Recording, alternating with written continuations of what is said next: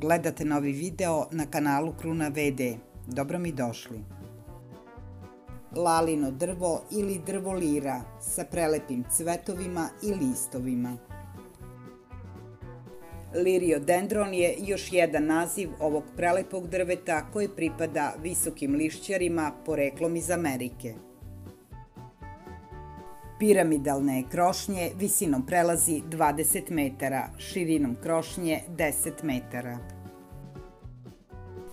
Odlikuje se čašastim žuto-zelenim cvetom koji liči po obliku na cvet lale.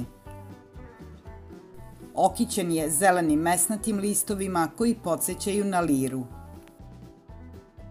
Uspeva gotovo na svim tipovima zemljišta i trpi aerozagađenja.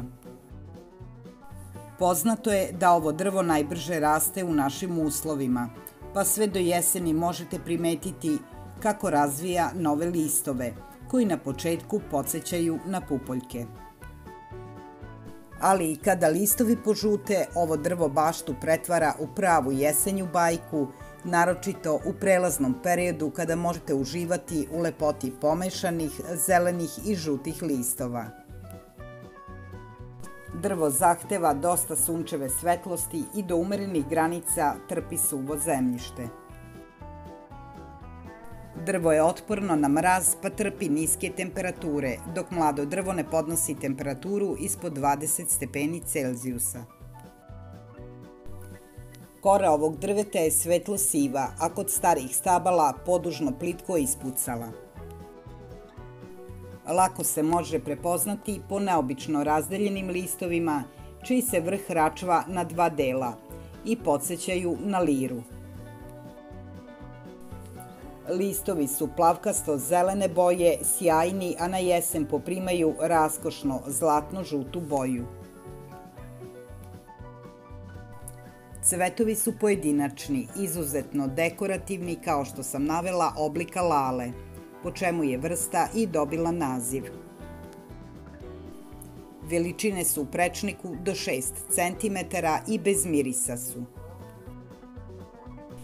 Spolješnji delovi cvetnog omotača su povijeni, a unutrašnji uspravni, u donjem delu naranđasto-crveni, u gornjem zelenkasto-žuti. Drvo cveta tokom maja i juna meseca. Šišaričasti plod je dužine od 6 do 8 cm. Cvetovi su medonosni i daju velike količine nektara. U Americi predstavlja glavnu medonosnu biljku, stvarajući crvenkast prilično jak med, ne uvek hvaljen kao uobičajne vrste u ishrani, ali ga pekari rado koriste. Nektar se proizvodi u naranđastim delovima cveta. Ovu brzo rastuću vrstu porede sa topolom. Voli veoma topla staništa, traži dosta svetlosti, naročito u mladosti. Ovo drvo jedino ne opstaje na poplavnim glinovitim zemljištima. Ovo drvo ima veoma široku upotrebu. Lako je i koristi se za pravljanje muzičkih instrumenta, olovaka, šibica i za celulozu. Igra veoma važnu ulogu u drvodeljstvu. Vrlo je koristan i omiljen materijal mnogih skulptora. Koren ove biljke se koristi za poboljšanje ukusa smrčevog piva ili da smanji gorčinu svakog piva svojim ukusom koji liči na limun. Kora, korena i grana ima prijatan miris. Mnogi delovi biljke se koriste u medicini. Lalino drvo je vrsta dragocena za pejzažnu arhitekturu i hortikulturu, gde ima široku primenu. Bio je omiljeno drvo kod pejzažnih arhitekata za uređenje velikih dvorskih parkova 19. veka – zbog svoje impozantne, sjajne piramidalne krošnje, kao i zanimljivih cvetova. Danas ga možemo videti u mnogim parkovima i vrtovima.